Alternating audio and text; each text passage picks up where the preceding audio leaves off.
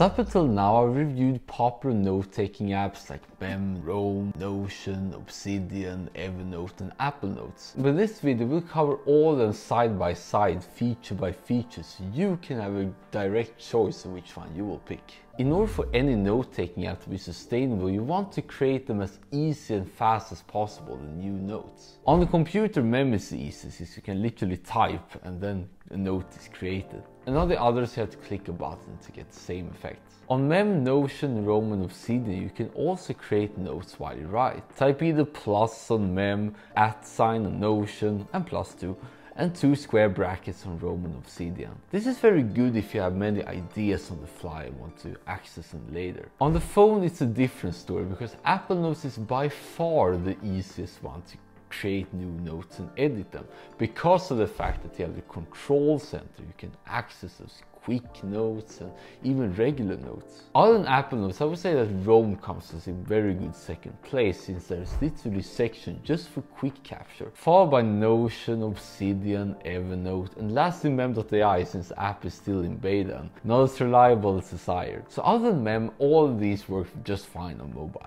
So in terms of saving information on the web, nothing compares to Mem Spotlight, so you can literally, with one keystroke, save it to either an existing note or a new note. Otherwise, Notion Evernote has their own web clippers in which you can save web pages very easily. And Evernote has even their own web browser for some reason. For the other ones, it's copy and paste. And on the phone you can save all Chrome, Safari links etc. to the other note-taking apps, except for Mem again. All of these apps can be accessed on computer, but there is currently no web version for Obsidian. So if you have a computer at work or borrowing someone else's computer, it's a little bit harder to access those, unless you have a mobile of course. But on the phone you can access all of them except for Mem on Android, so you have to sort of create the bookmark page for Android. But on Obsidian you have to either get Obsidian Sync or do it for free. And I would personally suggest to do it for free using cloud services. More of it in this video. Here's where I get it.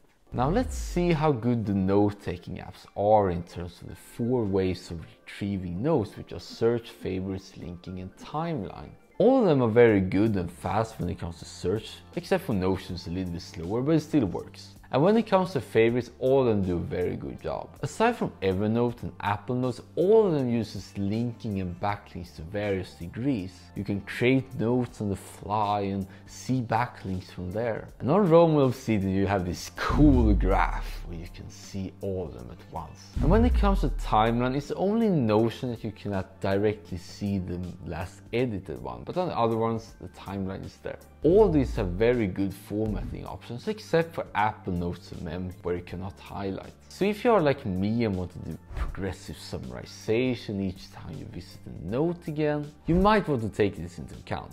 Other than that, you can even in Notion Evernote color the text differently and even having some colored highlights. Which can be very useful if you want to sort of color code the text. For example, if red is your own comment on a particular text and yellow is parts that you want to work on a little bit longer, etc. On mobile, I would say Notion, Roam and Obsidian has the easiest formatting. You do not need to switch between multiple menus as with the other ones. The exception is Memi, which you can easily format, but once again, no highlights. What Notion is really big on, and maybe even Roam to some extent, are databases that can be viewed as tables, boards and other ways. And if you have a lot of information connected to a certain topic and want to update it regularly, I would say that Notion is the number one app for it. You can even create your unofficial website with it. So other than that, Roam has many interesting features like timers and calculators and secured blocks. Apple Notes has a password protected option. Mem and even soon Notion have this AI capability that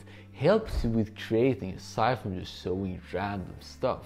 All the different apps varies in price. Roam is by far the most expensive with $15 a month or $165 a year, while the other ones can be used for free. With Evernote Premium you can do many things that you can do in the other apps anyway, so you have to be an Evernote fan in order to justify that payment every month. And although Obsidian has its own Obsidian Sync with $10 a month, you can do free version. They even say that on the support page too, so While all these apps might have some differences, they're overall very same. I mean, after all, it's all about writing down your thoughts and repeating them and collecting them later. It's all a very simple practice that they all are very good at.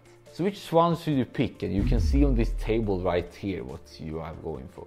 I would say if one of these resonated particularly with you, that you felt like, oh, this is mine, this is exactly made for me, then of course you should stick to that because after all, the best note-taking app for effortless note-taking is the one you stick to every day. Personally, I'm a big fan of using Notion, Obsidian together, and that's also the thing. You can combine various note-taking apps in order to get the best of both worlds, as I've done. And I'll come back to how I use it in a future video. But it's more important that you pick today than you pick your perfect option because you can always switch later. So pick one today and let your personal library grow.